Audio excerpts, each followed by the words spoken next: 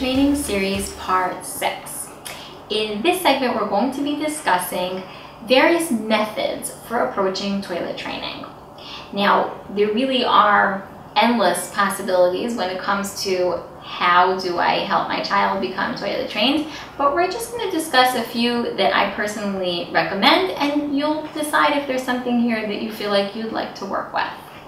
So the first method, and I'm saying that with quotation marks, it, because it's not really a method, but the first approach to toilet training is actually, I don't train my child at all, but I wait for my child to become trained. Now, the reason why I mention this first is because I think it's very comforting to parents and it really reduces the pressure a lot when I realize that there are millions of children around the world who have become trained without any intervention on the part of the parent. This means that what happens is biologically, physiologically, there is a process that goes on within the child that pushes them toward becoming trained regardless of whether or not I personally do something to train them as the parent. So that takes a lot of the pressure off, doesn't it? Now, it may be that that is not going to work for you for a number of reasons. Sometimes we have a schooling issue where a child reaches a certain age and we'd like to put them in a certain school setting and we think that um, or we, we were told that they cannot be in the school without being trained. So sometimes there are outside factors that kind of take away the possibility of us just waiting. Another reason why we wouldn't want to wait is sometimes what happens is for a child to do something, they have to get over a certain hump sometime. And let's just say that it might be in the best interest of the child for me to make this happen because, as I said in segment four, we do want a child to feel that they're independent and that they can do things between the ages of two and five. That's the whole. That's what the whole stage is about: getting autonomous. So sometimes a parent might feel, you know what, this is going to be really good for my child to get to the point where they realize, hey, I can do this. And so sometimes they do need a little bit of a push to get there. So I might decide that, no, I'm not going to wait for anyone of a number of reasons. But I want you to know that yes, it actually is a possibility out there. Method number two. So this method really works well with a child that has well, we can call it a stubborn streak, or we can say a child who's very strong-willed. Now, I think we all know that there are people who seem to more go with the flow type of personality, and then there are those where when you tell them sit, they will stand. And when you tell them stand, they will sit.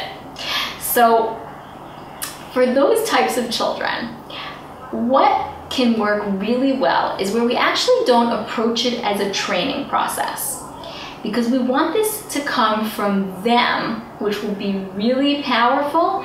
And generally, kids in this category, when they want to and the will is there, ooh, nothing is gonna stop them. So here's what we do. I'll actually explain it by way of illustrating how I did this with one of my children. So I bought a package of underwear. And I bought a package of underwear that I thought, this was for a daughter, and I thought that she would like this kind. I didn't take her with me though, and I'll explain why. What I did with it was I didn't have a discussion about it. I didn't say, would you like it? I didn't talk about it at all. Remember, this is a child that when you say something, they do the opposite. So what I did was I put the package in her drawer. I just left it there without saying a word. And eventually, she found it. I also wasn't, when I did this, it was before I felt any pressure that she must be trained. So I did this knowing that she'll find it eventually, and when she finds it, we'll see what happens. Now, she did find it, and she said, What's this? So I said, Oh, that? That's underwear. Underwear? Is it mine? Well, it's not yours yet, but when you become toilet trained, it will be. She thought about this. I didn't say anything else. Okay. The main point here is I did not continue the discussion from my side. I didn't say, would you like to be? I didn't ask for any questions about it. We just put it back in the drawer. Now, it was a few days later, probably it could have even been a couple of weeks later. I don't remember exactly because again, I wasn't pressured for time. But I do know that one day, not long after, she said to me, no more diaper. So I said, what do you mean? She said, I want underwear. So I said, hmm, okay. Well, actually, in order to get underwear, you have to make in the toilet for one full day. She said, okay, that's what I have to do. Fine, right? She wanted it. She was ready to do whatever it was. Now, I really don't even remember her having any accidents. We took off the diaper. I told her she wasn't going to get the underwear until she demonstrated that full day that she was able to go to the bathroom. She did it. She got her underwear the next day and she was happy.